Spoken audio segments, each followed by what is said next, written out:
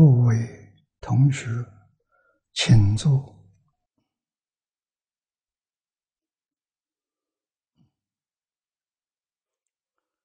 请看《大乘无量寿经解》第七百四十九面，七百四十九面第一行。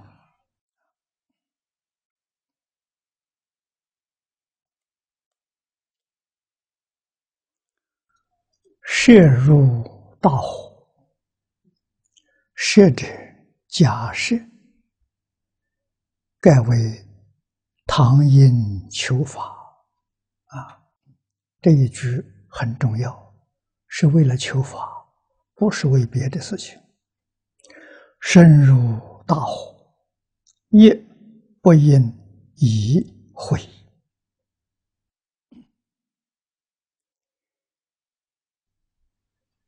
这是，譬如啊，发难。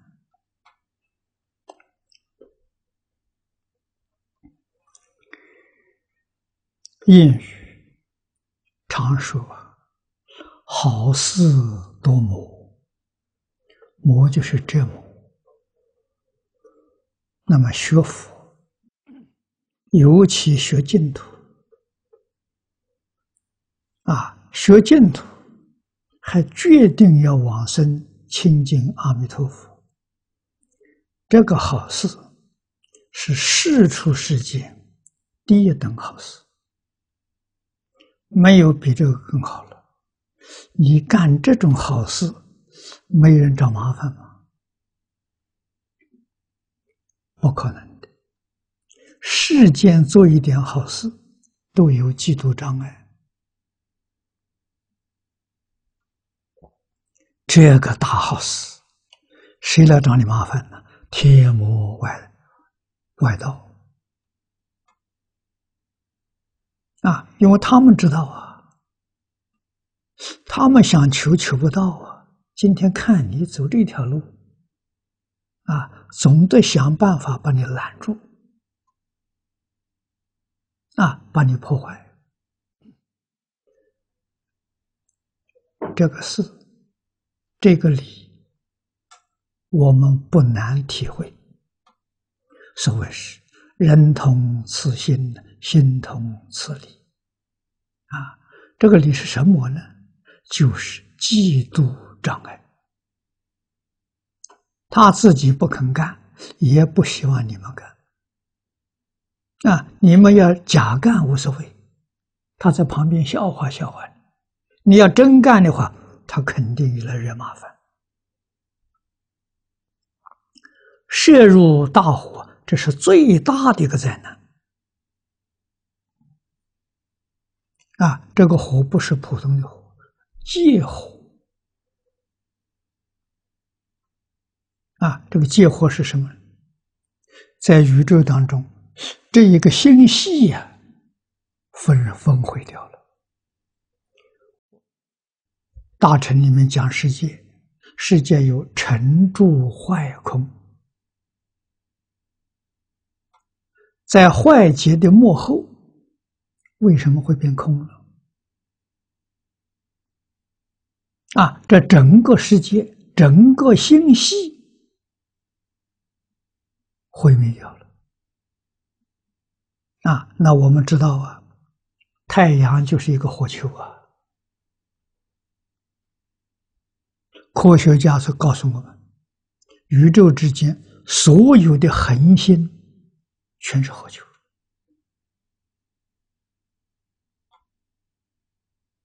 啊，没有火的这个星球啊，多半是行星，绕着这个大恒星呢转的啊。那么太阳有九个大行星。绕着太阳转，小行星不计其数啊！啊，太多太多了！啊，最小的行星，它的这个这个直径只有几公里的，三四公里、五六公里的，真的像一个小岛一样。它在太空当中，它也是一颗星星。啊，它也有自转，也有公转。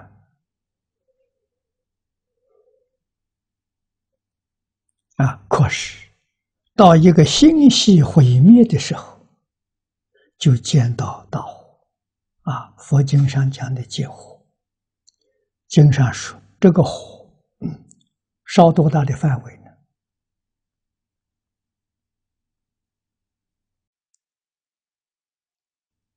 火灾烧到初禅天，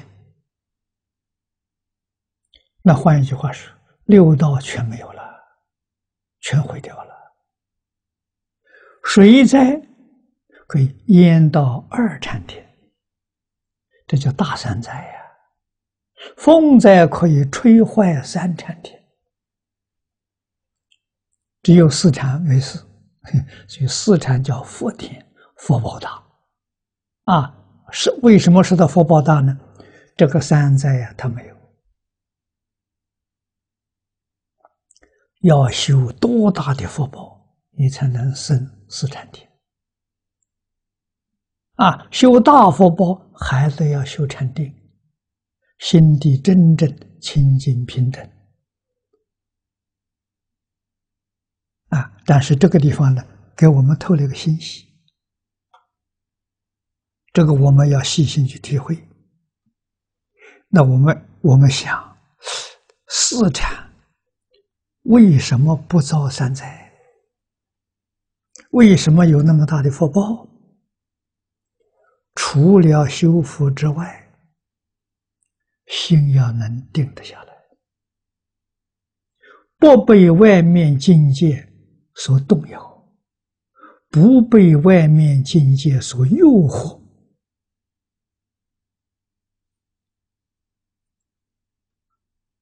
原理就是这个。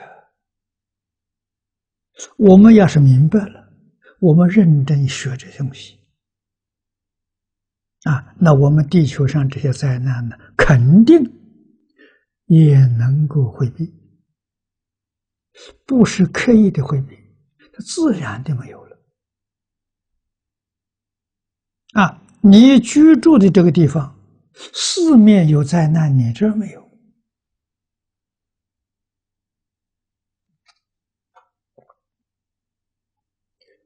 我在澳洲听说。有这么回事情，是个比丘尼的小道场，大概就一两个人住，在这个里面每天念佛拜佛。他住的这个乡下，住在森林里面，遇到森林大火，森林里面所有的房子全烧掉了，就是他这一间没烧。奇怪，四面都是火，只有他没烧。啊！媒体去访问他，他到土文巴来看我，跟我报告这桩事情。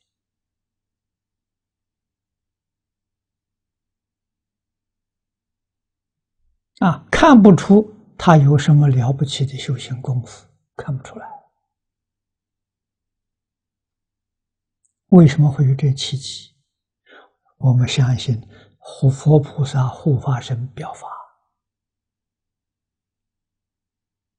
啊，你只要有一点点小功夫，你就能得到感应。这个感应最大的意义不是你，是让社会大众从这里感到启发。这个功德大啊！这个功德，我们相信是佛菩萨、是护法神做的。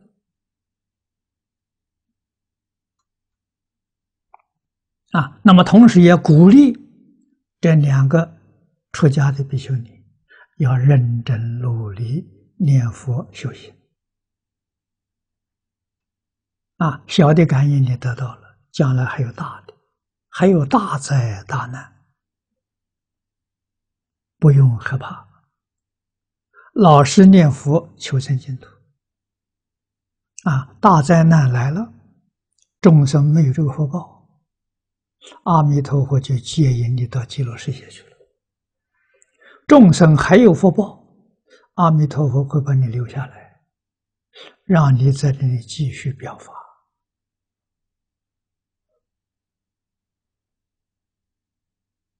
啊，现在说法讲给人听，人家不相信啊。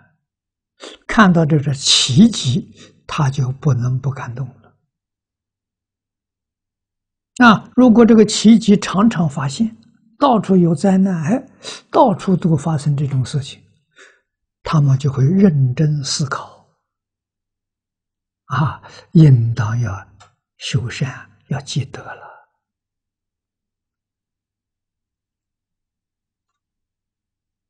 啊，世界。荣华富贵、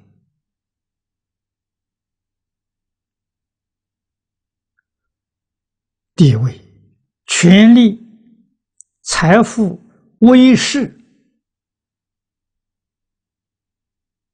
绝对不是你自己聪明智慧呀，你能够得到的，不是。怎么得到的？命里有的。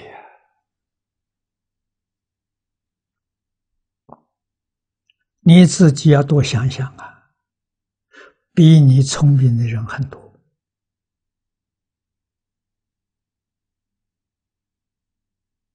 比你有智慧的人很多，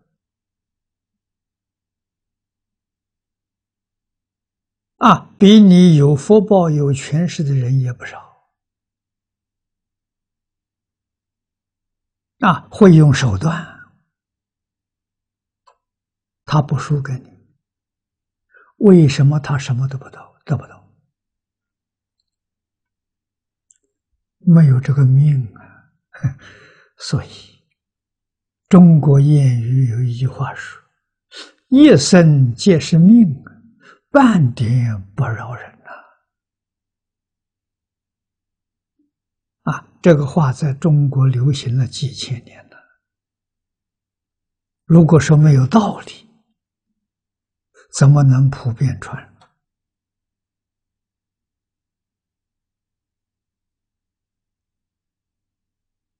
没有道理，别人就不说了。啊，几千年在社会上还流行，还有很多人说说这桩事情，那么他不是没有道理，他道理太深了，太微妙了。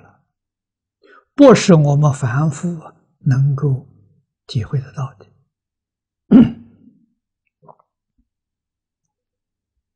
那么他命从哪来的？为什么他命里头有，我命里头没有？这桩事情，佛法讲的透彻了。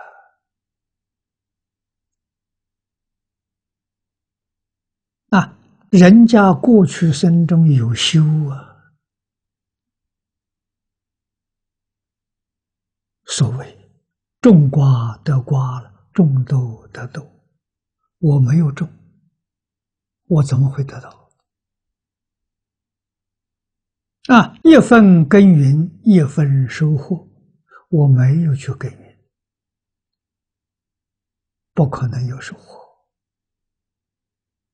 这一定的道理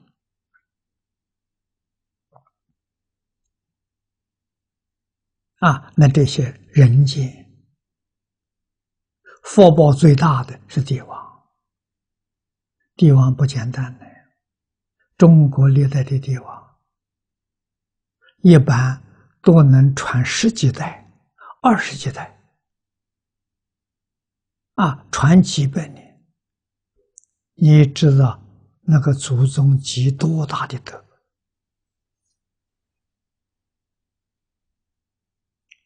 积多少世的德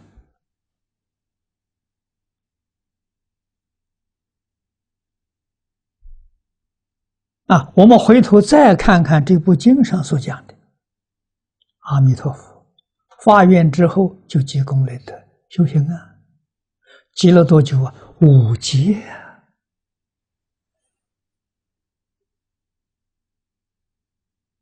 啊，中国谚语里面所说一个帝王，至少啊是十代以上啊，十世啊，啊，积功累德十世啊，才有这么大的福报。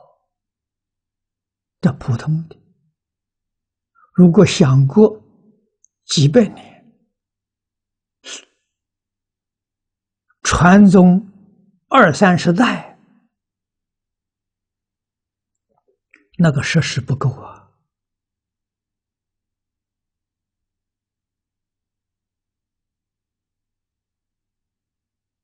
啊，中国这个历代传承最多的是周朝啊，周朝传了三十多代呀！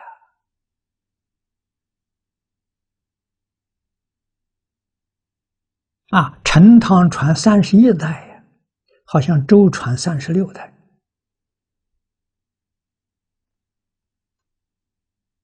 啊，八百多年了。他祖宗积多大德？啊，我们相信，没有积德二十世，他不可能有这么大的福。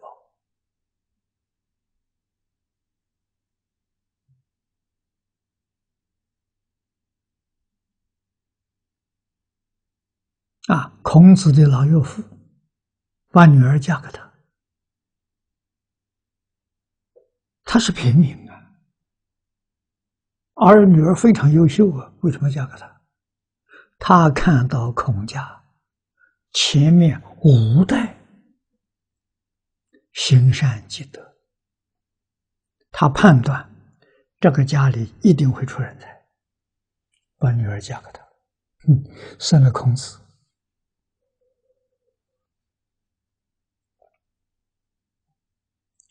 中国古人呢，相信这些，懂得这个道理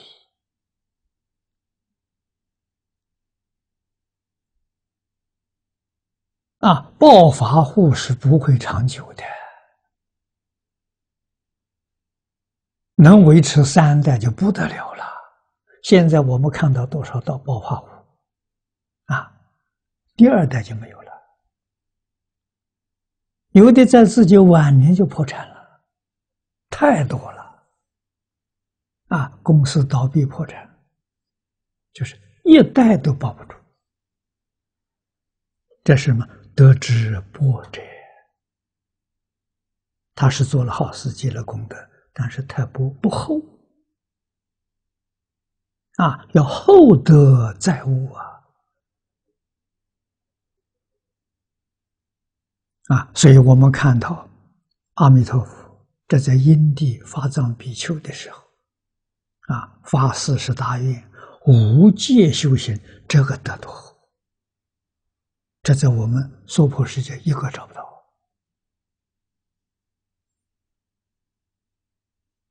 啊，我们这个世界，十世、二十世的积福就很难了。不容易了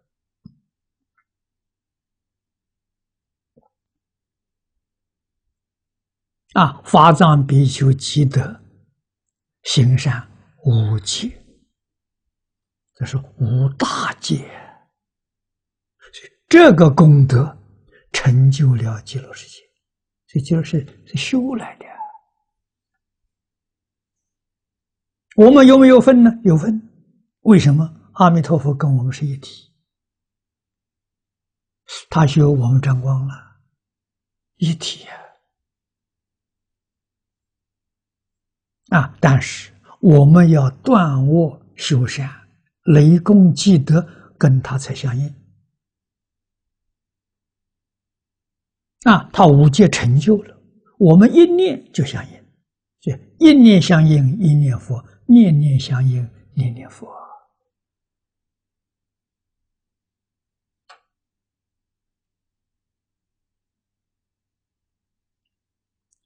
这些地方你真搞清楚、搞明白了，你就知道极乐世界对他不会怀疑，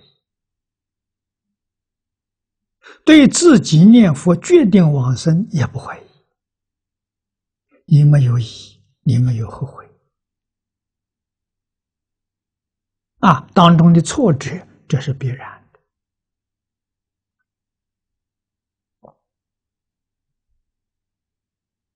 啊。有先前也在先前这个时代，最近这三百年。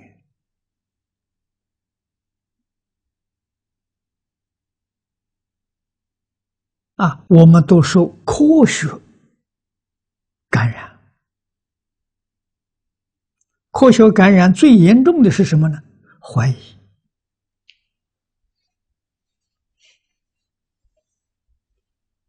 啊，科学是应该用怀疑的，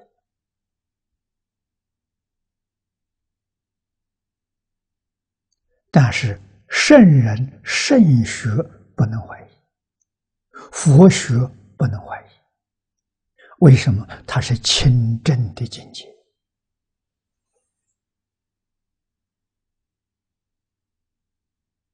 啊！而这种清正是圆满的正德，不是局部的。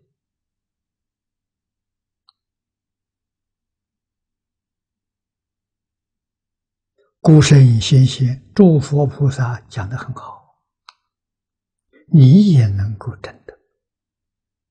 不是不能证的，那为什么呢？信德永恒不变，不生不灭，真的是万德万能啊！只是凡夫有障碍，把它障碍住了，他不能显现。你得不到的受用，迷了，其实我们现在明白了，也得受用，得的是负面的受用。啊，中国古人讲八卦嘛，一阴一阳谓之道。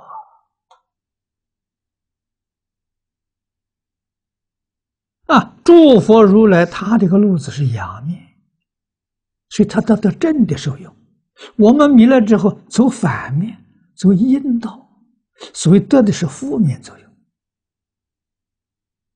都没有离开道。一阴一阳，我知道，阳是觉，阴是迷。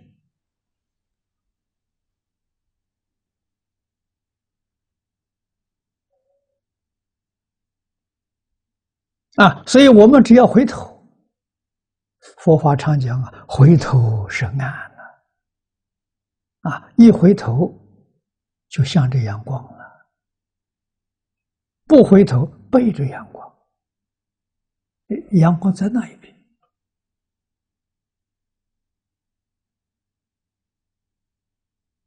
啊，回过头来，我们面向阳光。面向阳光，就是一切则得其正了；背着阳光啊，一切皆得其邪邪气，是这么个道理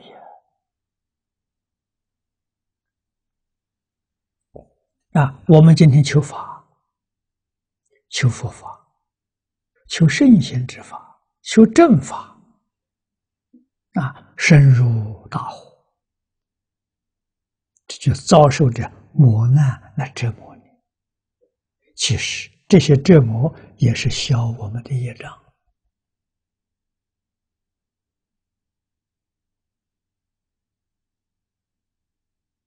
啊！我们背弃信德，就背弃阳光，造多少罪业啊！这些障碍。这一些灾难不是替我们消业障的吗？啊，如果我们这个想法的时候，一切灾难业障，我们就甘心情愿的承受了，不怨天不尤人，欢欢喜喜。啊，我们在受灾受难当中不忘念佛，啊，这个灾难很快就会消掉。啊，我们自己有意识要消灾免难。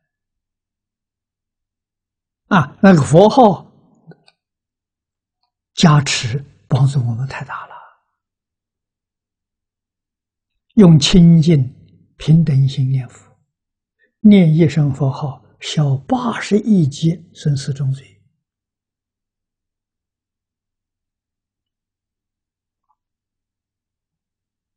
虽是好事，不是坏事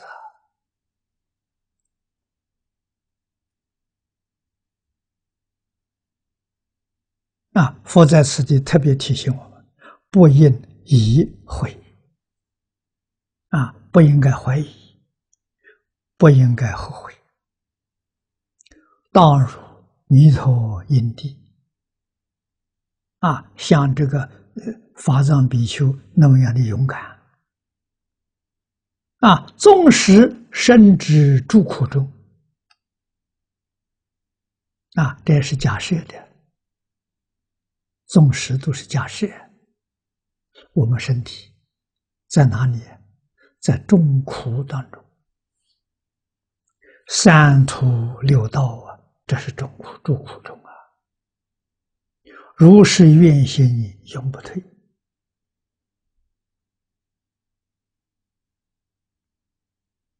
啊！我发愿向善，发愿行善，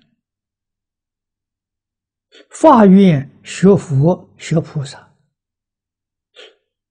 发愿要成佛成菩萨，这个心永远不退。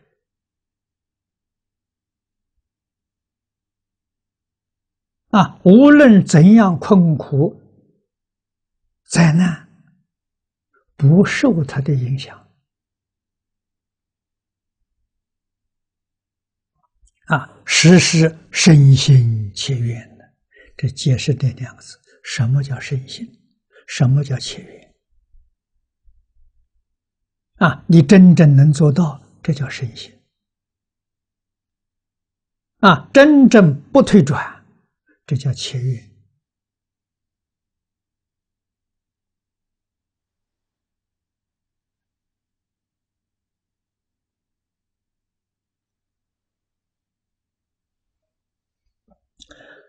底下的经文何以故？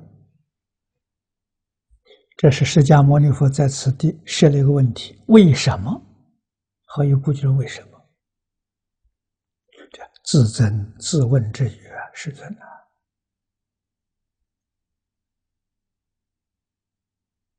啊！啊，来帮助我们进一步的解释。其下呢，则从正反两面来解释这个意思。啊，深显其意。第一个从正面说，如《菩萨往生品》第四十二品，我们念过。啊，里面所说的，彼等无量无数十方世界诸菩萨中，皆求此微妙法门，尊重听闻了，信受奉行。牺牲极乐。啊，彼等。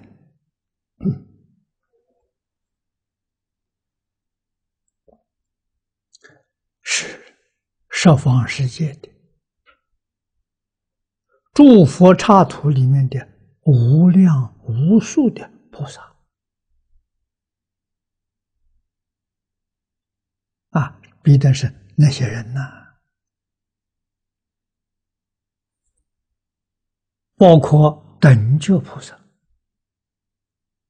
一直到三途的众生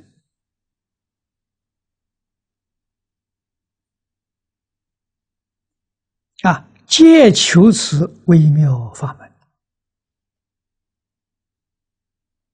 众生这么苦，断烦恼、成佛道这么难。佛有没有一个简单的方法来帮助我们？让我们这些人都来成就。这个念头。我相信很多人都有啊。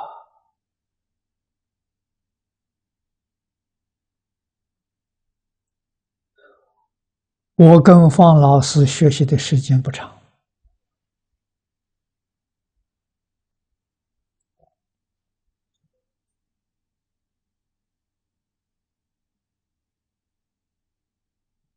大概只有三四个月。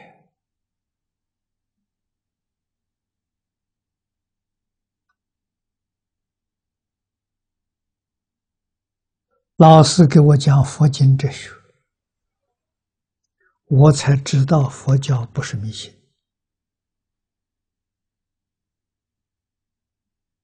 啊！佛教有很深的道理，有很深的学问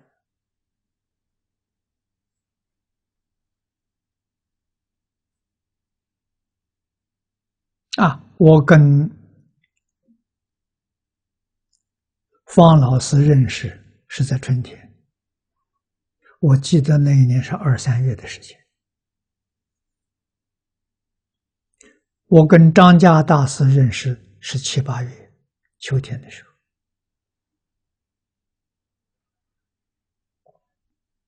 啊，我第一天跟张家大师见面，就动了这个念头。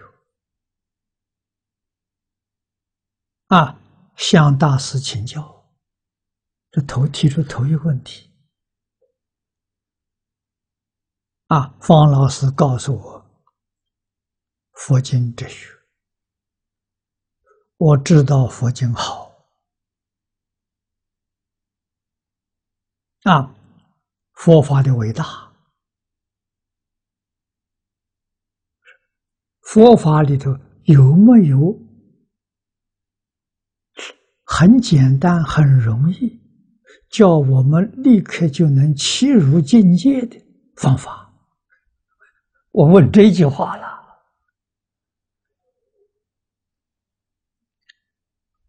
跟这意思一样啊！啊，我提出这个问题，张家老师看着我，我也看着他，等他开始。那个时候还不懂什么叫开始啊，啊，等他回答。啊，等了多久呢？等了半个多钟点。啊，我们就是两个眼睛看眼睛，一句话不说，半个多小时。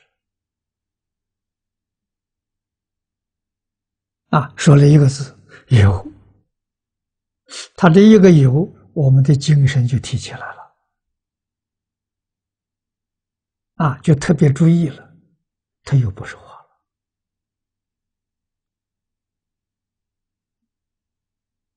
了。啊，停了大概六七分钟，啊，不算太长。告诉我，看得破，放得下。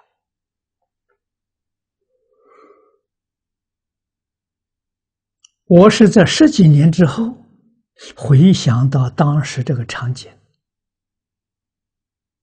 不是很简单的吗？他为什么不答复？他他要那么长的时间？啊，我于是就体会到了，我们年轻人呢心浮气躁，问了这么个问题。啊，他看着我，一定要把我浮躁的习气统统定下来，他才说话。为什么？以后我明白了，心浮气躁啊，所以。左耳进右耳出去了，说了没用啊！啊，就是没有真诚恭敬心呐。提出问题像儿戏一样啊！啊，说了你没有印象啊！啊，他这么一个动作的方法的时候。让我们有非常深刻的印象。啊，我们一生请教多少高人，从来没有像张家大师这样的。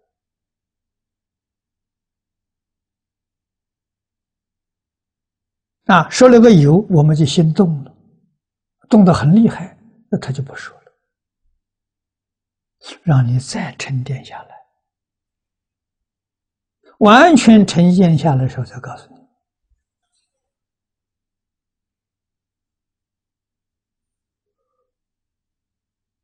啊，给我讲六个字：看得破，放得下。我们习气很重啊，没有定功啊。听完之后，好像是懂得，似懂非懂。马上我就又问第二个问题：从哪里下手？啊，好像这这两句话我有点懂得了。我我要从哪个地方下？怎么个做法？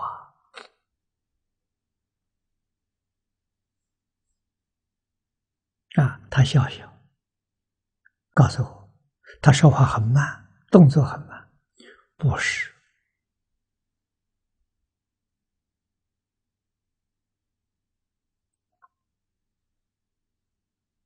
再头一次，第二个星期他又找我，以后就变成习惯了，每一个星期都去看他。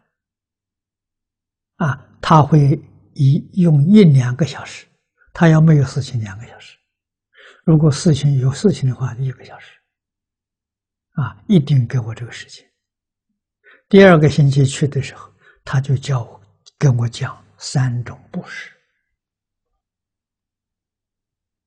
啊，财布施、法布施、无为布施，我们才恍然大悟：什么叫一言一啄，莫非前定？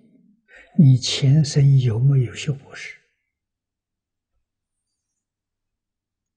你前生修财布施，这一生得财富；修法布施得聪明智慧；修无为布施得健康长寿。这这么一回事情啊！这才晓得哦，这叫做命运。命运不是神给的，命运不是上帝给的，也不是阎罗王给的，是你自己修的。啊，自己修，自己享受啊！修善得福啊，修不善得灾祸啊！全是自作自受。啊，都是你自己安排的，不是别人安排的。啊，自己不知道，佛知道。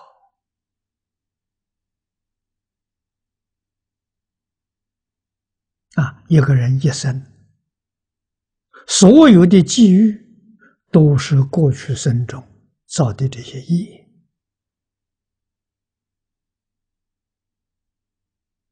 啊，这些业可以改变。啊，不是不能改变，为什么？所有一切法都不是定法，啊，佛也无有定法可说。有定法就不奇迹了，因为我每个人念头，啊，刹那刹那都在那边，非常不稳定啊。佛说法要奇迹。要起你现前的机，不是过去，不是未来，现前啊，这才真正能得受用啊！我跟张家大师三年，一个星期见一次面啊，许许多多的概念，都是他老人家给我点的。啊，这个缘分非常难得了。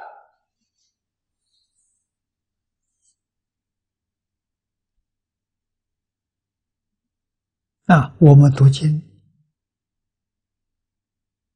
一个星期多的，所有的问题都向他老人家请教。啊，他很细心的给我解答。啊，大师一生言语简单扼要，一点都不繁琐，没有废话，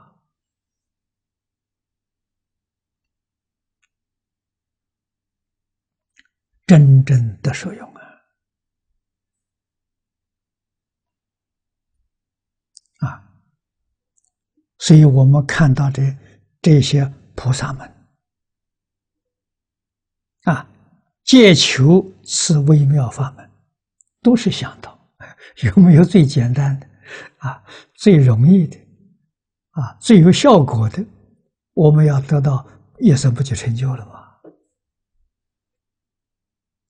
尊重听闻，信受奉行，牺牲极乐。他遇到了没有？遇到了，就是遇到这部经，就是遇到这个持名念佛的法门。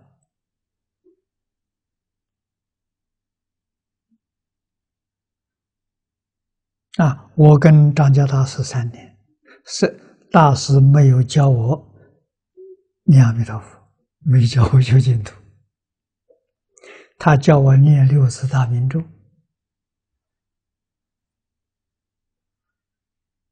啊，这是观世音菩萨的修行方法。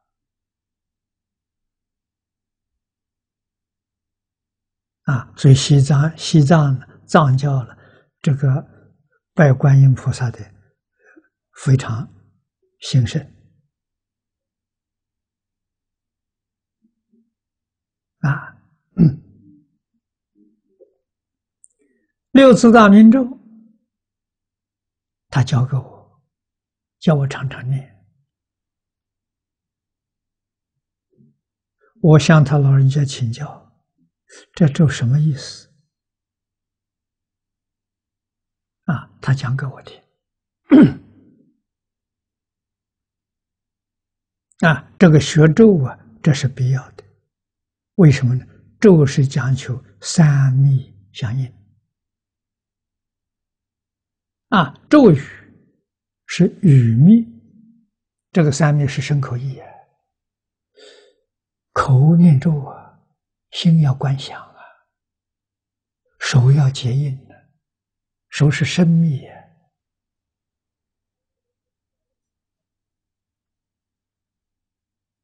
啊，所以咒的意思不懂不行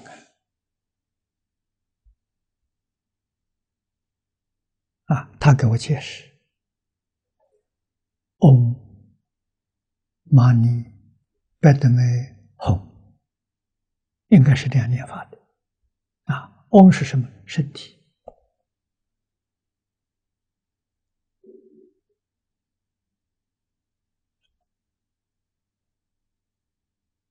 身里面包括了身跟口。摩尼是莲花。我们佛经上有翻译，翻摩尼，摩尼就是莲花啊。拜德麦是保持，吽是意啊，身口意，身跟口合在一起啊。唵嘛呢叭咪吽，那翻成中国意思，第一个是生莲花保持意。啊，这是藏文的文法。藏文是从梵文变变过来的。啊，我们讲外国文法，我们中国人一定是保持身与意像莲花一样，就这个意思。啊，莲花出污泥而不染。啊，他把污泥代表染法，一切不清净的啊，六道，以后我们知道那个代表六道啊，啊，水莲花的时候，金它要通过水，花开在水上面。啊，在水呢代表清净。啊，清净是四圣法界，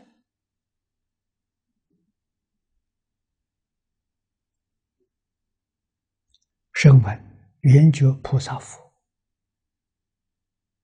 啊，释释迦牟尼佛的净土，六道是释迦牟尼佛的秽土，染污的。那么花开在上面。染尽都不染。这个咒咒语是这个意思，常常保持身与意，像莲花一样，染尽都不染。这个意思太好了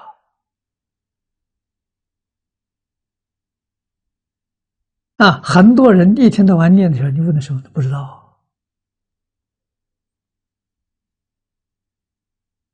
啊，不知道得不得利益呢？不能说不得利益，很难啊！为什么呢？他不晓得怎么修啊。如果真的用这一句咒语，把自己的杂念、妄想给它念掉，那就真有好处。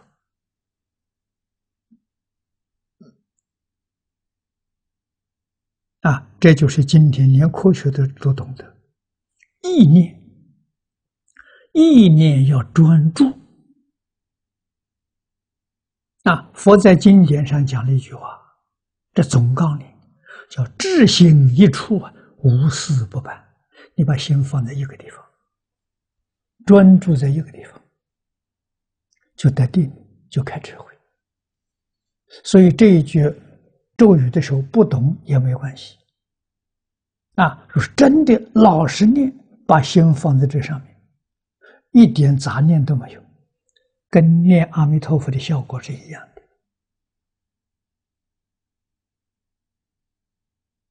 啊！我念这个咒得定了，开悟了。我又遇到净宗法门了，念阿弥陀佛到极乐世界去，行不行？行。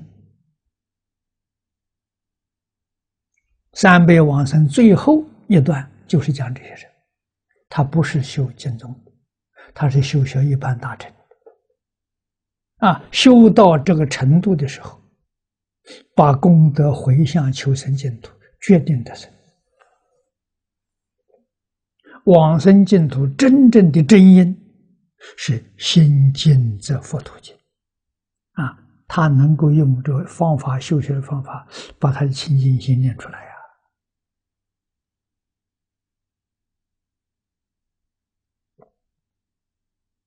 啊，那我们了解这个咒语里头的意思，那就不一样了。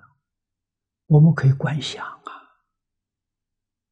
啊，念到这一句话就会想到，身心清净，一尘不染。啊，你会想到，观想非常重要。我们拜佛，拜哪一尊佛，你得想哪一尊佛。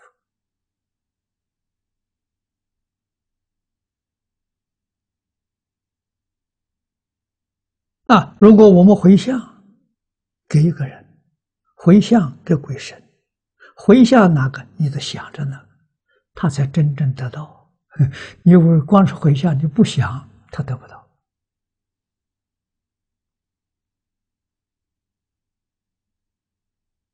啊，观想是意念呢，意念太重要了。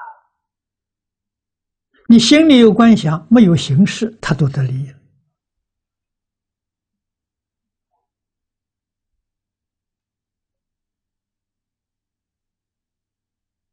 我们在《影城回忆录》里头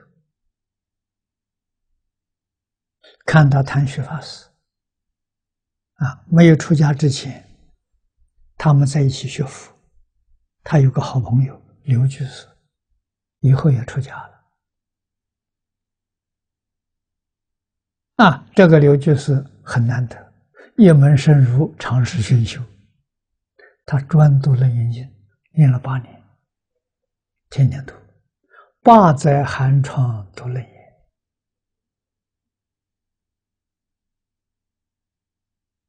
啊，有一点功夫了。什么功夫？心地清净，杂念少了。他的冤亲债主就求得超度啊。那时候没出家，几个人开了个中药铺，中午没事情干的时候。没没有客没有客人，啊，在柜台上打瞌睡。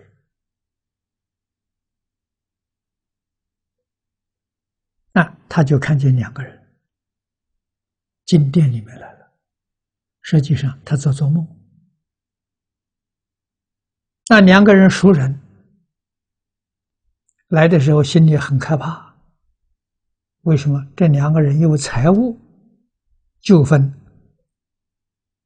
跟刘居士打官司，官司刘居士赢了，这两个人上吊死了。啊，他也很后悔，不应该为这一点事情呢，让人家送把命送掉了。啊，所以心里也很不安。现在看到这两个人来了。知道他死了，这不是人，是鬼呀，是是来找麻烦的了。但是看他的态度很温和，走到他面前就跪在他地下，他就问他：“你们两个来干什么？有什么事情？”他说：“求超度。”心就定了。那不晓得不找麻烦，求超度。他说：“行，怎用什么方法超度？只要你答应就行了。”那行，我答应你。看到这个鬼魂，踩着他的膝盖，踩着肩膀，升天去了。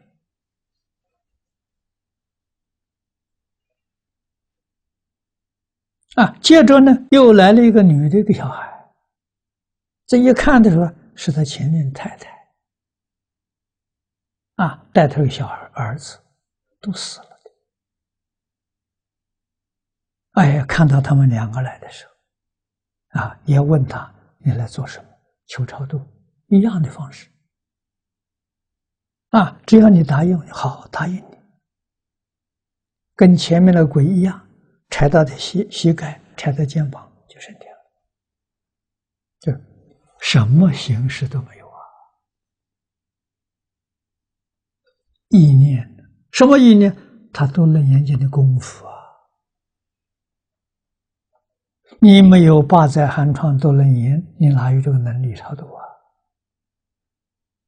阿弥陀佛加持我们，凭什么？因地四十八愿无界修行的功夫啊，那有多大的力量啊？刘居士在八年的时间 都能研究，哎，就有这个能力了。那您没有这个能力，拿什么去？拿什么去回向去超度别人？啊，得有东西才行啊！啊，所以超度这个事情做多了，如果自己没有德、没有行，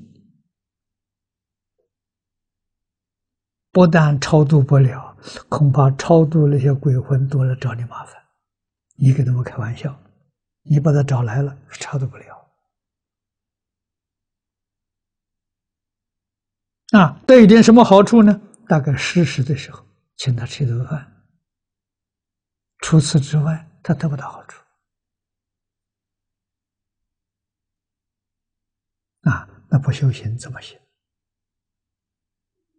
不闻法怎么行？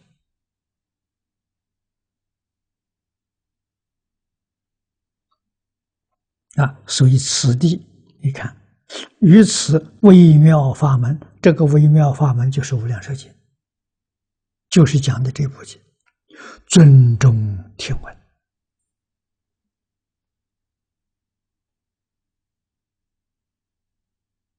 啊，然后呢，信受奉行，听闻要尊重，没有尊重。你听不进去，听而不闻，视而不见，为什么呢？没有心。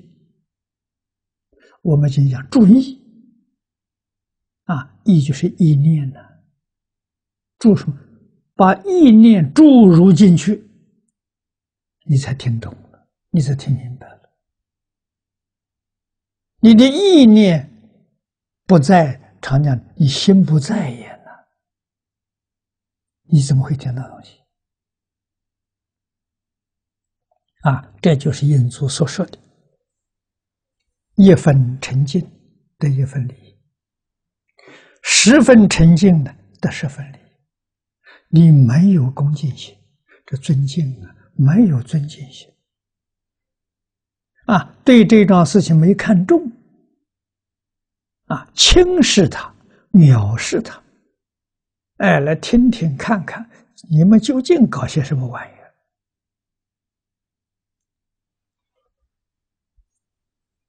你来听来闻，跟不听不闻没什么两样啊。那么现在我们知道啊，佛教沉传最困难的，到哪里去找一个尊重佛法的人？尊重经典的人，尊重老师的人，都找不到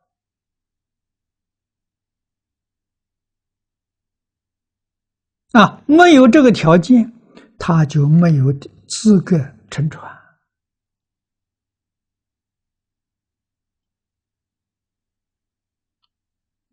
要来接受传法了，这是必须具有的条件。就很难了啊！真正遇到啊，一定要好好的培栽培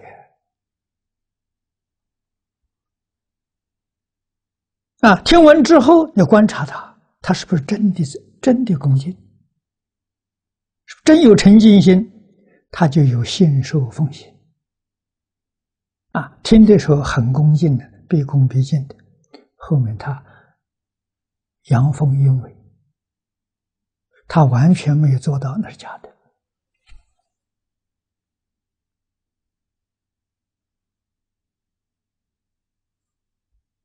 啊，要细心观察，是不是真心的，是不是真真接受？真心真接受，他就落实在生活当中，他做到了，处事待人接物。决定不像以前这种迷惑颠倒的观念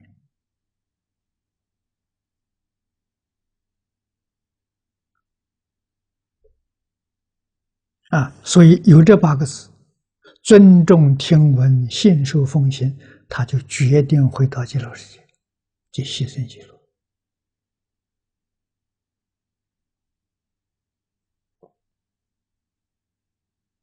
啊！这个我们要学。第二，反面说，多有菩萨了，欲闻此经而不能得，缘分不够。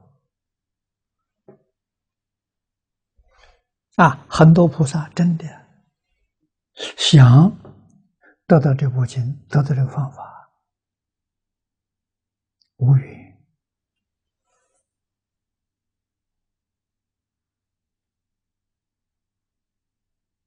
啊，语言实在就在眼前。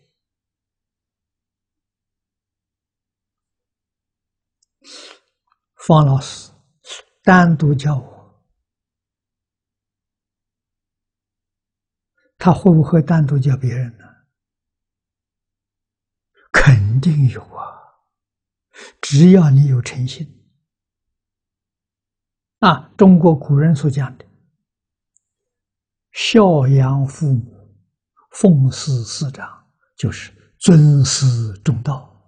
你有真正尊师重道，他会特别教你。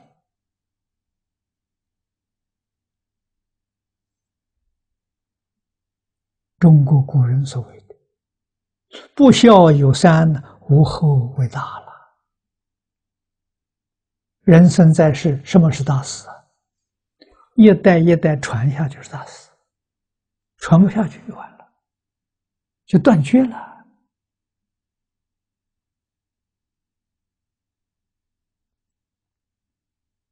啊，前一代传给我的，我的传给下一代呀，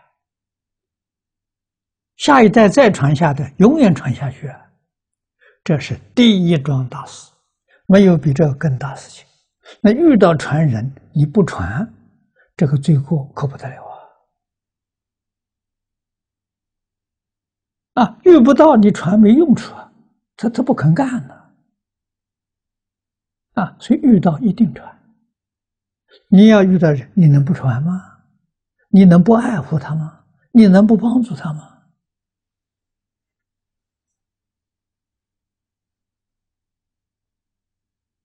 啊，所以方老师并不是重视我这个人呐，我这人是个普通人呐，跟一般人没有两样啊，啊，只是尊师重道这个心不一样，啊，信守奉行这个态度不一样，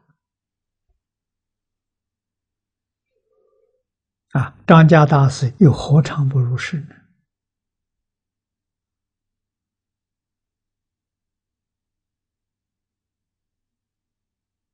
啊，对我们这个年轻人特别爱护啊！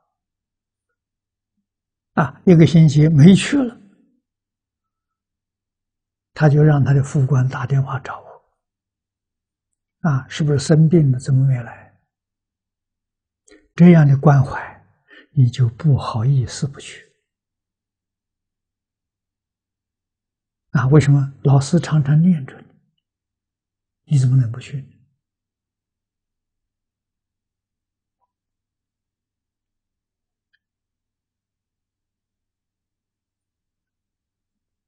啊，父母对待儿女，老师对待学生，都是希望他能够承传道统啊，承传家业。从前家有家道，有家规，有家学，有家业。啊，不是儿女多，儿女多一个沉船都没有，那还是不孝，那还是无后为大。那个后不是儿女多，是儿女当中有人能够继承。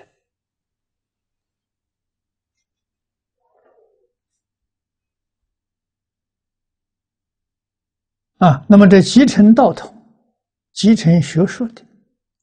都要靠父母好好的去栽培，让这个小孩从小心里头就有个概念：孝顺父母、尊师重道，要有这个概念。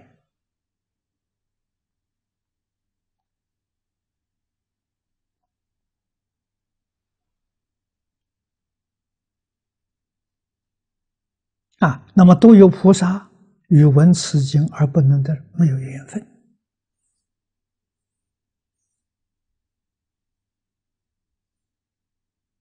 啊，缘分还是自己，自己真肯学，他就有缘；自己不肯学，就没有缘。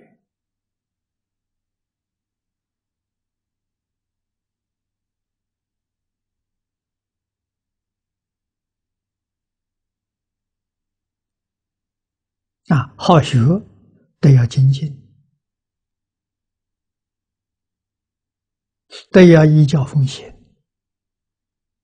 啊，这才能产生效果。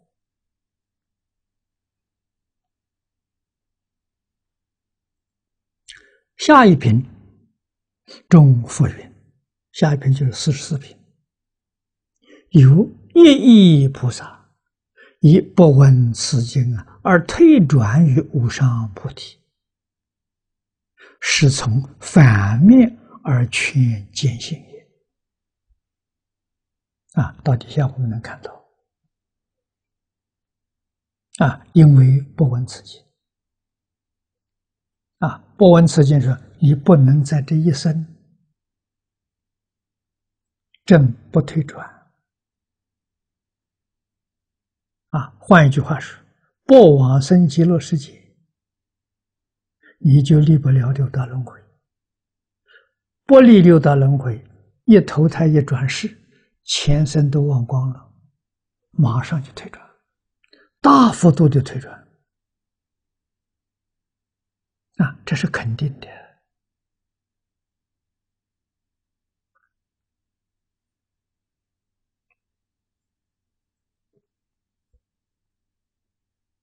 啊，这个事情我们知道。啊，所以这是从反面劝大家坚定信念，幕后总结全品慈悲诸父啊，欲是故如等应求此法，这最后一句。啊，多么恳切！因为这些缘故，大家一定呢要求这个法门啊，认真的去学习，依教奉行啊，这就是求取的意思。我们看下面，《受菩提记》第四十四，念老注解。提起北京净莲寺长老慈州老法师无量寿经课本，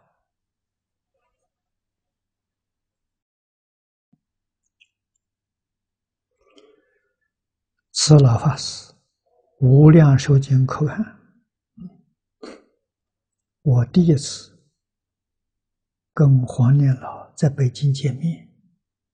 他就把这份课盘送给我了，啊，是油印的本子，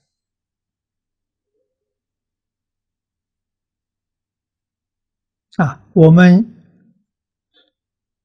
也多方面呢去找，把下联老。最初的汇集本找到了，啊，现在我们印了一千册，留着做纪念。这个本子呢，前面有慈州法师的刻盘，这个本子是最早汇集的。啊，用三年的时间，就是他第一次的稿这个稿本，是以魏默生的本子做基础，将魏默生这个本子做校订，啊，做校订，补充一些东西进去，啊，一共是。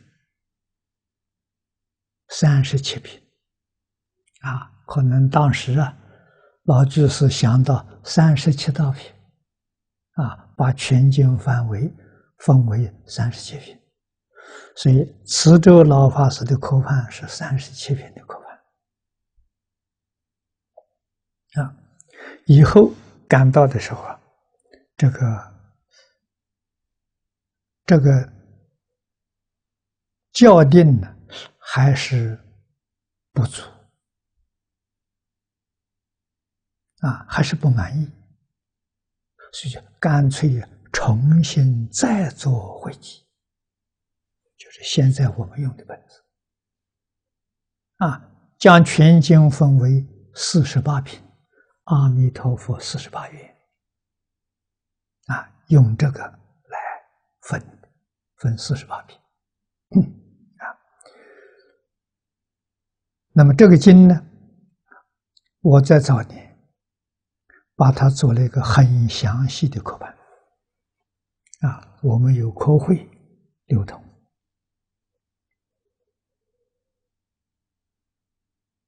啊，我这个课盘最主要的资料还是参考慈州法师的这三十七篇。啊，我们这一次大经节的演绎讲完之后，我想讲第二遍。啊，第二遍呢，还是用黄念老的注解，啊，用他全部的注解，啊，但是段落了，就不是他这个分法了。我们有很细、很细的这个课，分出来，然后将这个注解注入经文的后面，啊，做一个科会，啊，注解的科会，我们读起来会更醒目。更容易懂，啊，更清楚，总是一遍比一遍好。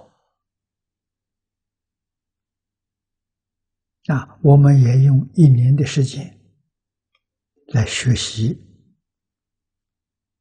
课解，啊，加一个科判，就是课判跟注解，啊。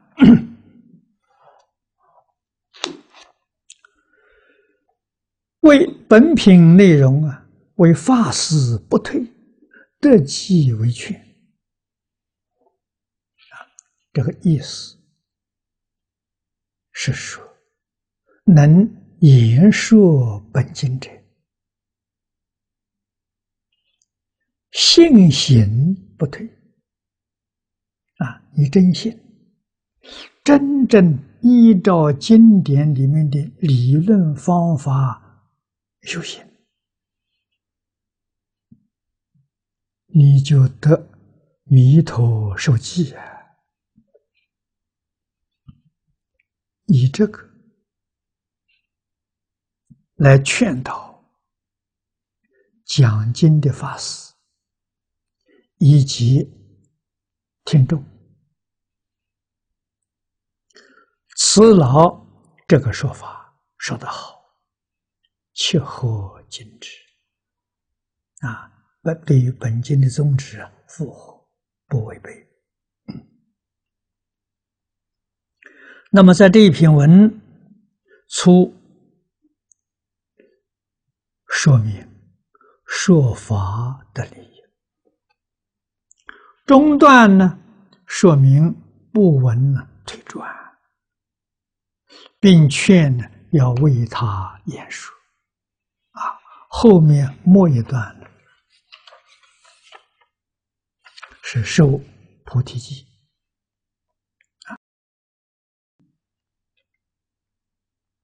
现在请看经文：若于来世，乃至正法灭世，当有众生执诸善本，一诚供养。无量诸佛，又比如来加微故，能得如是广大法门，摄取受持，当获广大一切智智。欲比法中广大圣解，或大欢喜，广为他说常要修行。诸善男子及善女人。能于是法，若以求、现求、当求者，皆获善利。汝等应当安住无疑。众诸善本，应常修习，事无一致，不入一切种类珍宝，成就老狱。念了这一段，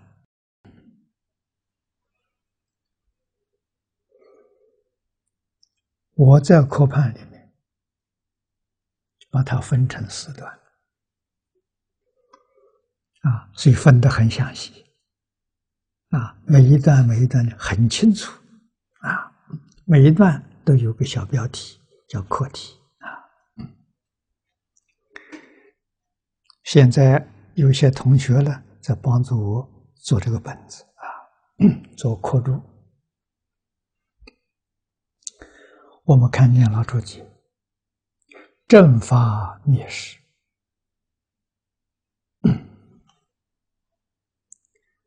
一代佛化，释迦牟尼佛。四十九年讲经教学，啊，教化众生，啊，他的发愿有正法、相法、末法三个时期，啊，经历这三个时期，啊，下面引用嘉祥父师《法华经》一书。这《法华经》注解里面呢说这些事情。佛虽去世，释迦牟尼佛灭度。佛的法运从释迦牟尼佛灭度说起，一代佛法了，立正法、相法，啊，这个、这个、这个三世，佛虽去世。法已未改，这叫正法。啊，佛去世的时间还不远，那些教学的一些规矩都在，都没有改动。啊，跟佛在世的时候差不多，所以那些佛弟子都能够保持，都能够遵守，依教奉行。这叫正法时期。啊，佛去世久，时间越来越久，道化我替，讲这些道，教化众生的一些方法，有了改变啊，跟。正法时候啊，不像了，那么这就叫相法。虽有改变，还还可以，还有一点像，啊，这叫相法。转福为末，为末法师，相法之后，跟佛的教法了。实在讲，越去越远，完全不像了。这就叫魔法。所云正者正也，这就很具体跟我们说出来。相者是也，末者微也。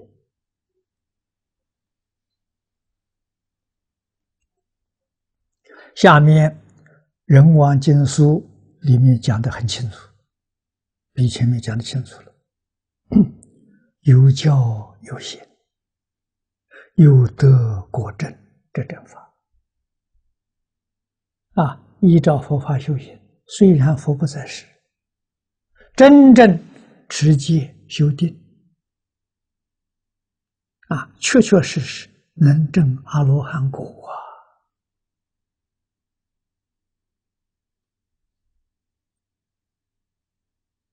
证阿罗汉的不多，但是证初果、二果多啊！三苦也不少啊！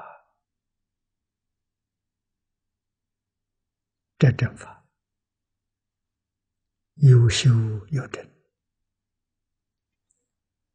那么相反呢？有教有行而无果证。这想法还相似啊，有讲经，有学教的，有真正依教奉行的，但是没有正果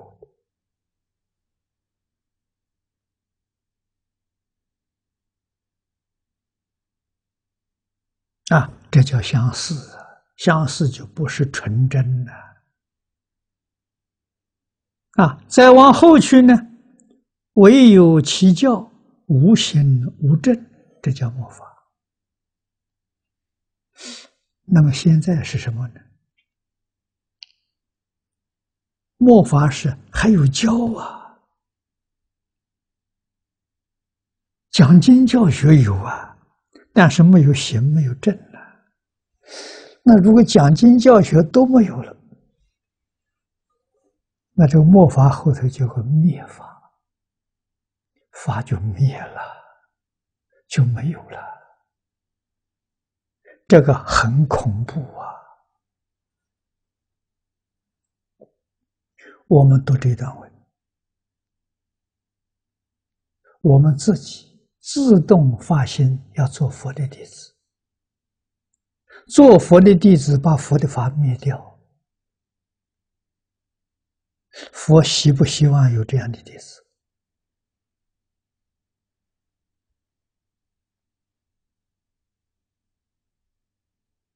真有很多。这是怎么回事情呢？释迦牟尼佛在世的时候，我王不学就告诉释迦牟尼佛。他发了个心，要把佛法灭掉。佛告诉他，佛的法是正法，没有人能够把正灭掉的。只听说邪不生正，没有听说邪能把正灭掉。波旬就说了：“等到你末法的时候，我让我的母子母孙通通出家，来灭你的法。”佛听了一句话不说，流眼泪。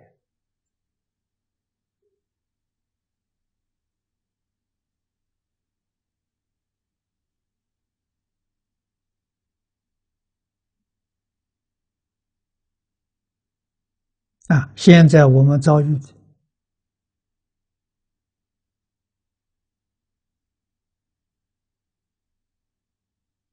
就是在这个临界点，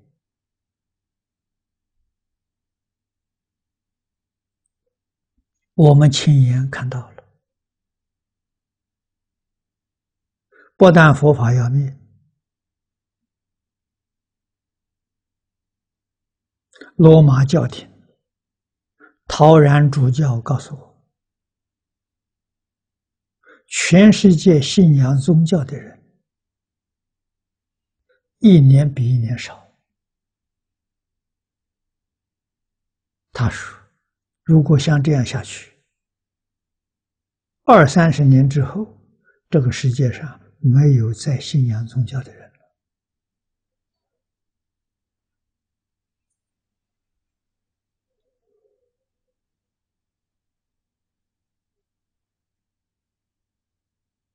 啊，其他宗教也意识到这个问题了。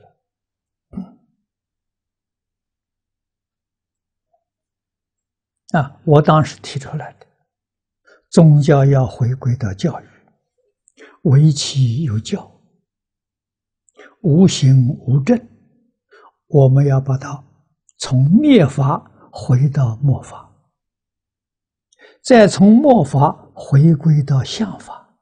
从相法再回归到正法，啊，是这么一种摔下来的。我们还想办法把它提上去，啊，想在这个时候做到相法正法是做不到的。你只能提升一段，你不能再不能向上提升，再向上点是底下一代人他们的事情。啊，佛法真正要能恢复到相法，啊，恢复到正法，真有人真正努力，要期待呀。我们想到至少要五代以上，这话根据什么说的呢？根据禅宗大摩祖师到中国来，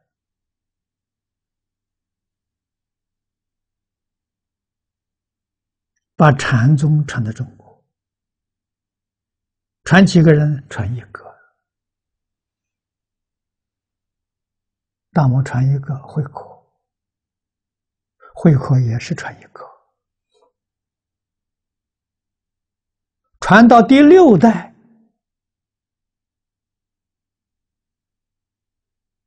啊，五祖传给六祖，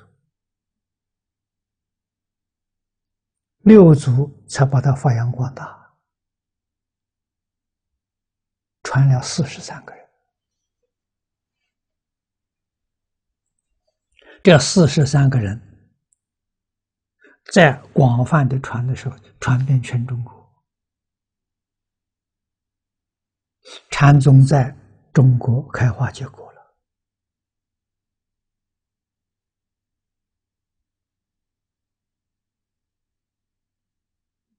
啊！所以今天最重要的灯火相传呢，不能让它灭掉啊！一个两个就很可贵呀。它不至于断掉啊！啊，这一个两个，不但要讲，还要写。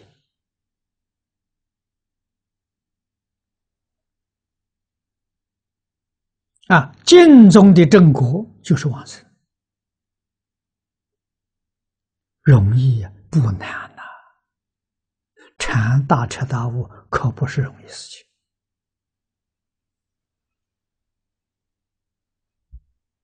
啊！黄年老告诉我：“而今而后啊，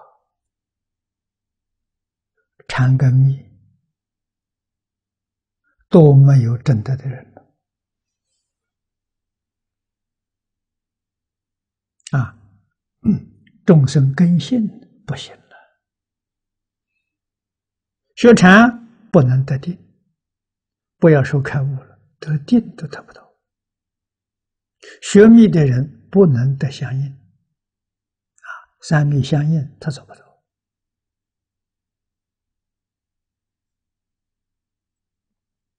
啊，学教的人没有了，不学了，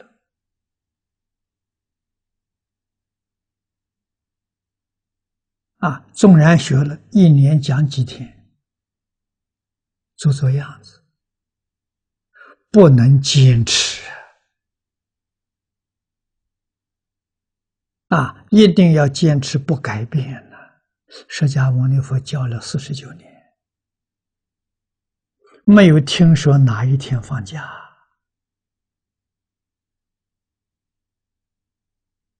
啊，天天干，没有一天休息，乐此不疲！啊，天天讲，学生当中真的。依教奉行，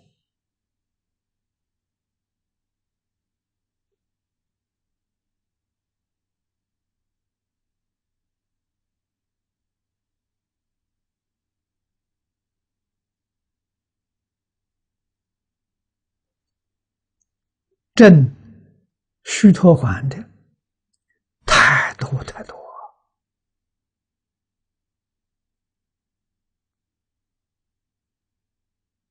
啊，初果、二果、斯托含、阿那含、阿罗汉，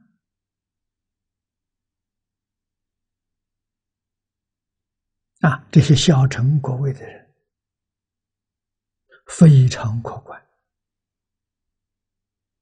啊，大乘菩萨果位的人不发其人呐。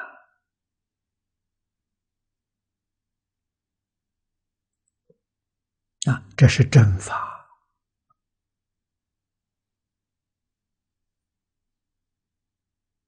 啊！正法久住是我们的向往，念念不忘！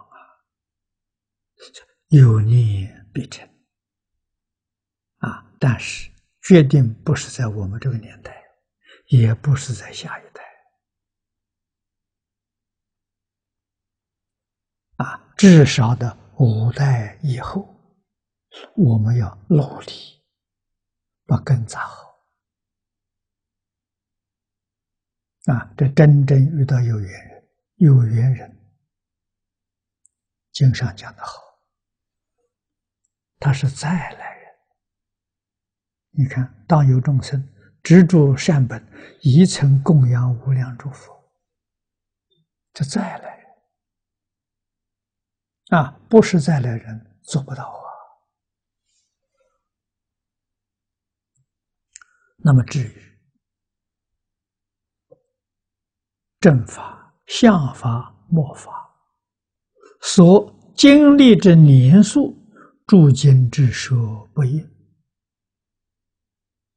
啊，古德多才，正法五百年，相法一千年，末法一万年之数。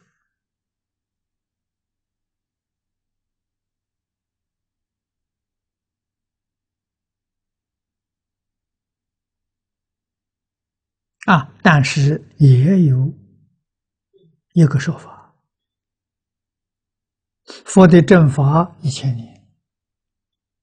相法一千年，末法一万年，佛的法运一万二千年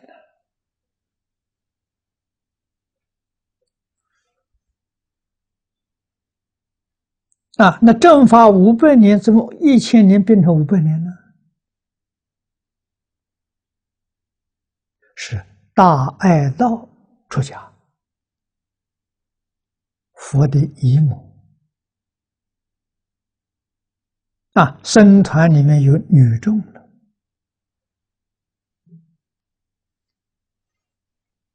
啊，正法就减少了五百年，有此一说。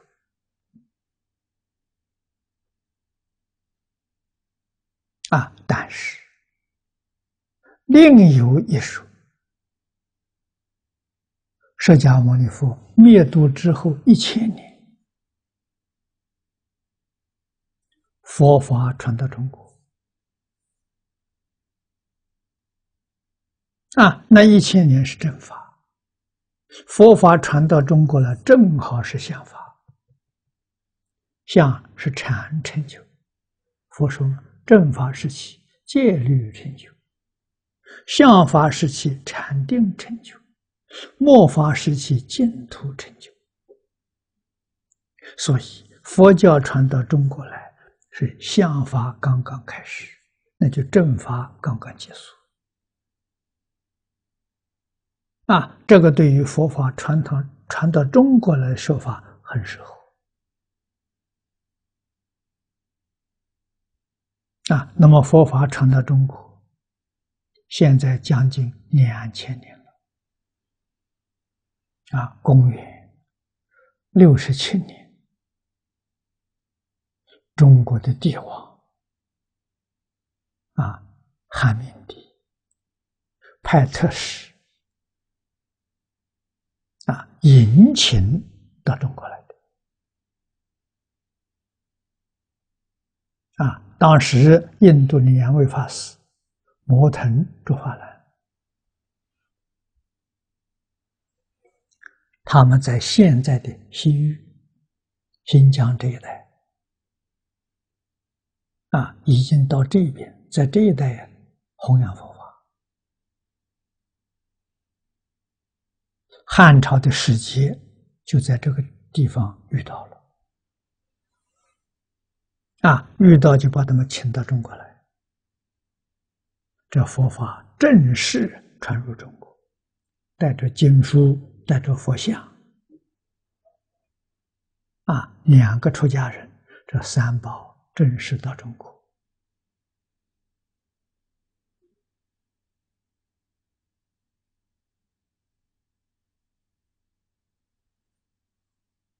到二零六七年，整整两千年，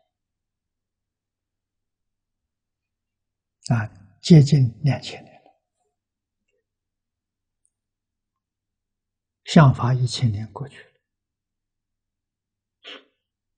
末法一万年，第一个一千年也过去了。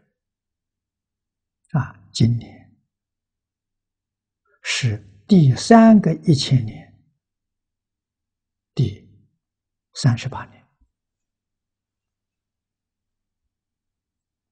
啊，所以我们说整数嘛，末法还有九千年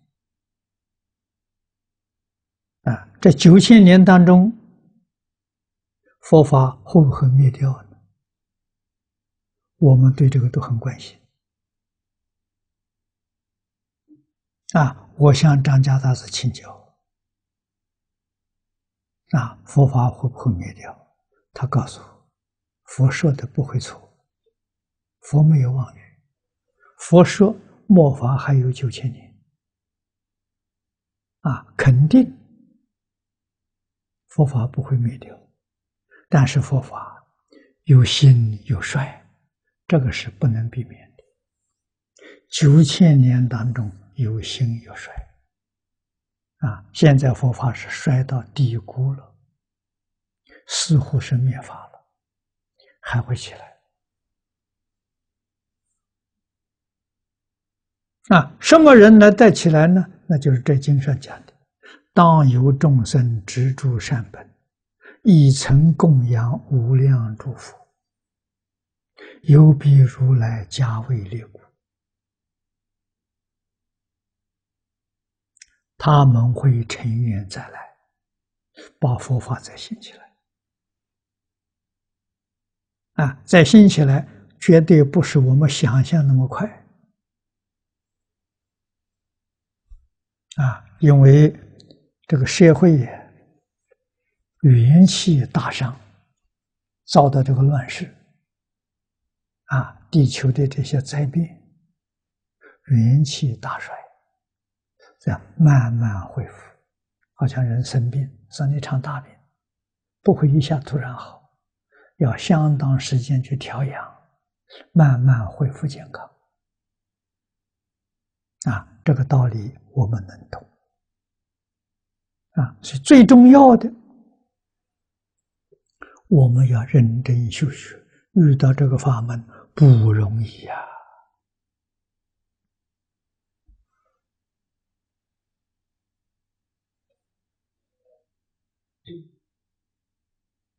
啊，那么经上所说的。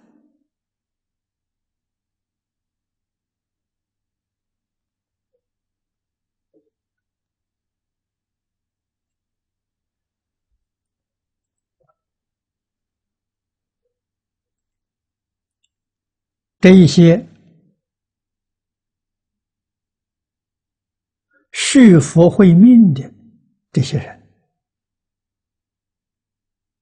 啊，都是善根非常深厚，过去供养无数诸佛如来的弥陀加持，的诸佛加持，又到人间来了。哪些人？下联句是不是？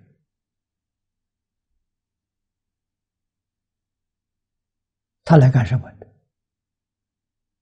他来为我们整理经典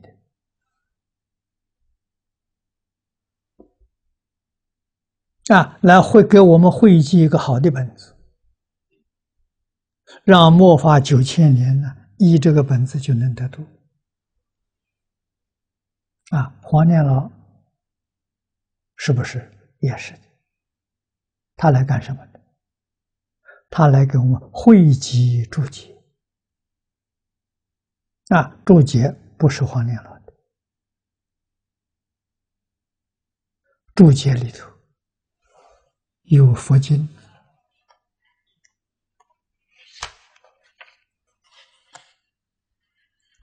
八十三部。有祖师的论著一百零一部，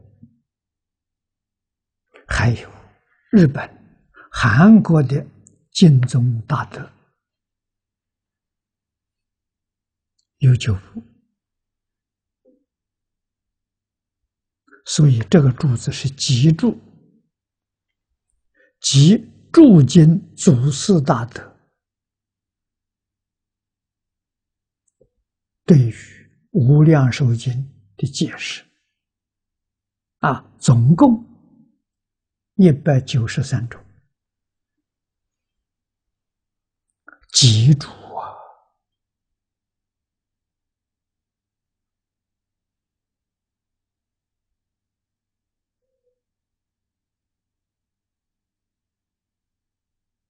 啊，现在这两个人走了。这一桩事情落在我们身上了，我们承受了多大压力？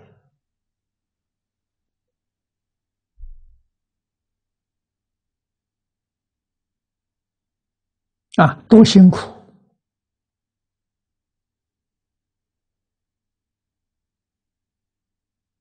啊，我们也要做个下一代的人看，怎样才能够得佛法真实利益？必定是一门深入，长时熏修啊。道理我们懂得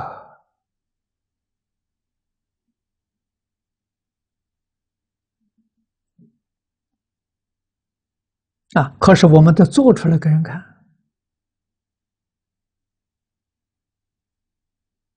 啊，我们懂得自己没有做，会引起别人怀疑啊，所以不能不认真去做。啊，怎么做法呢？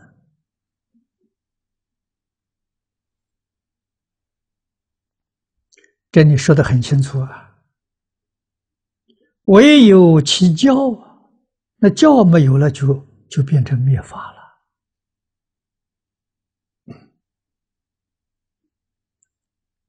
我们做了，做了五十三年，五十三年有教。也有行，没有真呐。行不够，不足，我们要把行补起来。怎么补法？戒没有了，规矩没有了，啊！所以今天在家。十善业道做不到，出家呢，沙弥律仪做不到，这就是无形呐。唯有其教啊，无形无证呐，这叫末法了。末法下面就灭法了。啊，为什么做不到？不能怪现在人。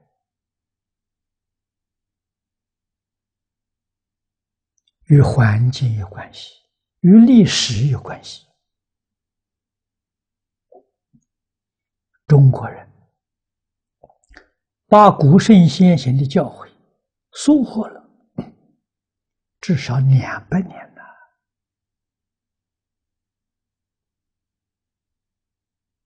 啊，满清慈禧太后执政。对于传统，对于佛教，就疏忽了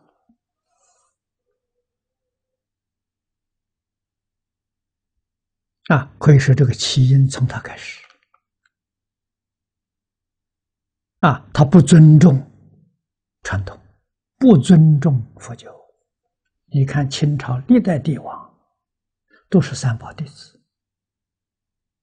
哪个帝王对佛教不尊重啊？只有他。他自称老佛爷，把别的佛菩萨都放在他下面，他是老佛爷，你这有什么法子的？啊，上行下效啊，所以大家都对佛教慢慢就看清了。啊，满清亡国到今年一百年，前一百年收获了。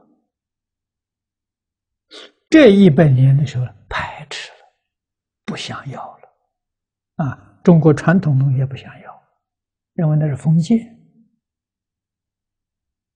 啊，那是从前古代帝王骗人的，认为佛教是迷信，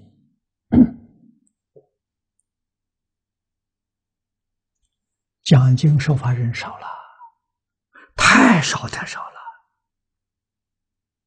啊，所以教没有了。这个事情非常严重。如果说是连教都没有了，啊，就是经讲经的没有了，就不叫末法了，叫灭法，法就灭了。还有讲经的，啊，没有修行的，没有正果的，这叫末法。啊，讲经的都没有了，佛法就灭了。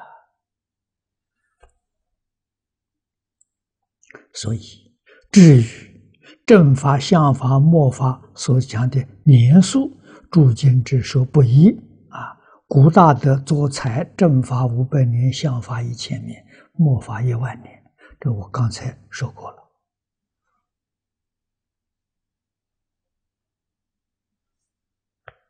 啊。这些事情早年我都向张家大师请教过。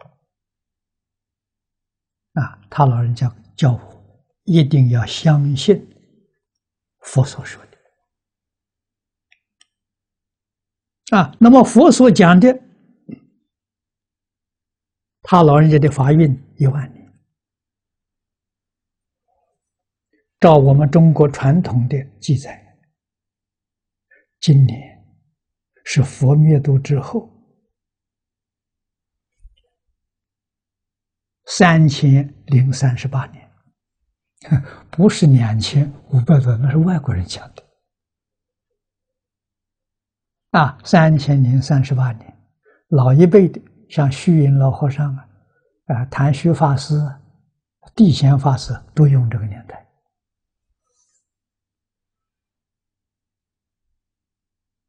啊，那么换一句话说，下面还有九千年呢，佛法会不会灭呀？张家大师告诉我：“幸福，佛法不会灭。九千年当中啊，佛法有兴有衰，这这肯定有的。啊，那么现在我们是遇到衰，衰到低谷了，会有人把它带起来。啊，哪些人呢？是再来人呐，不是普通人了。”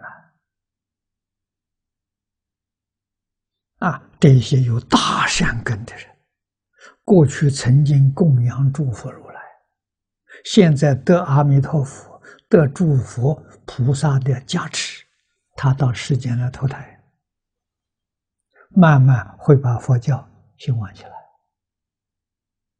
啊，但是这个兴旺不是我们这一代，啊，至少五代之后，啊，好像个人生病啊。得了一场大病，要恢复健康，得慢慢来，总要有一段时间去休养，啊，所以我们今天最重要的，把根照顾好，根不能断，灯火相传呐，啊，传一个都行，就像大摩祖师在中国，你看单传一代就传一个人。传到六祖，才发才真正发扬光大广大，啊！六祖传了四十三个人，这四十三个人传遍全中国，啊！所以佛教再兴，至少要五代，啊！不要以为我们这一代、下一代就可以复兴，不可能。受的伤太重了，没那么快恢复。啊，灯火相传要留意，要遇到这些再来人，真心，真能放下，真能吃苦，真能持戒，真干。这个这样的人，我们的全心全力照顾他。啊，来培养他啊！一代有一个就行了，就就就就就不错了。有两三个那就很难得了啊！总的三四代之后，才能看出佛性的气象。我们看下面文。正法灭时，广指相法与末法。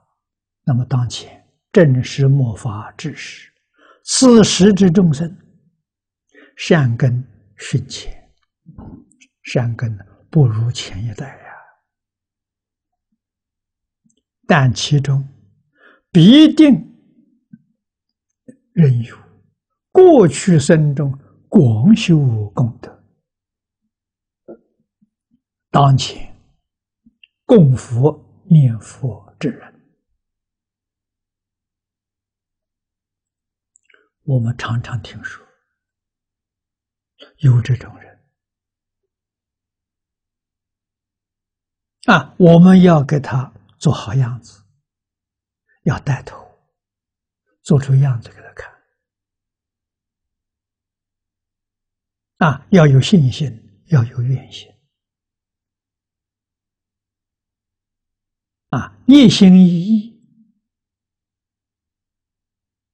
学习。圣贤传统教育，学习大乘佛法，啊，怎么个学习呢？无论是法佛法，道理是一个。《三字经》上所说的“教之道，贵以专”呢，佛法常说的“一门深入，长时熏修”。这比什么都重要啊！啊，本身所具备的条件，印光大师所说的沉静、真诚、恭敬，一分沉静得一分利益，十分沉静得十分利益。沉静表现在哪里？表现在尊师重道。啊，这个人不孝父母，不重视圣贤的教诲，不重视佛法的经典，他什么都学不到。啊，如果孝顺父母，尊师重道，这个人就有能力 做到，就有能力啊，成传。啊，我们对这样人就特别照顾，啊，要全心全力帮助他成就他，啊，他是传统文化的传人，是大乘佛法的传人，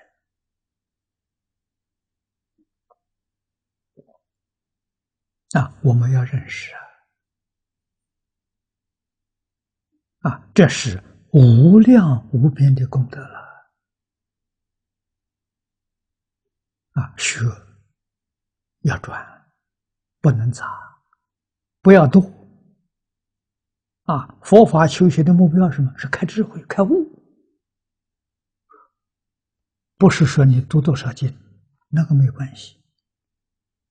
应戒得定，因定开慧，决定要遵守三无漏学这个次第。啊，佛法传到中国来之后，这种方法儒采用了，儒家也用戒定慧，道也采用了。啊，所以这两千年来的时候，儒释道里出多少高人，啊，都用这个方法了，一门深入啊，长时熏修，不是假的。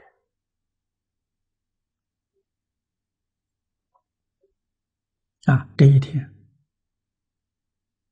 我们要细心去体会，要认真去学习。啊，今天时间到了，我们就学习到此。